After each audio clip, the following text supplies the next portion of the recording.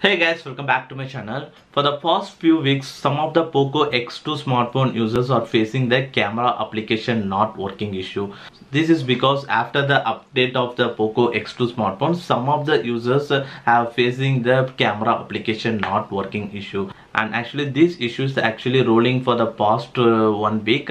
But now from the poco side they are given some of the solution to solve the camera application not working problem. So regarding this what poco has said that in case if you're having a problem like uh, your uh, poco x2 smartphone is not uh, opening camera application or camera is not working like that means so first of all you have to go to the settings and then go to the apps and then go to the manage apps option. And under the manage apps setting option you will get a list of all the installed application in that select the camera application. Once you are goes into this camera application now click on the clear data or a clear cache like that. So after that confirm clicking on uh, clearing all the storage saved for the app data. So once you are cleared completely now just restart your smartphone. So after restarting the camera application will now work so, so this is what the poco has recently said in the twitter handle so in case if you are a user if you are facing a poco x2 smartphone camera or not working issue like that means after a update so you can able to solve the issue by doing these following steps.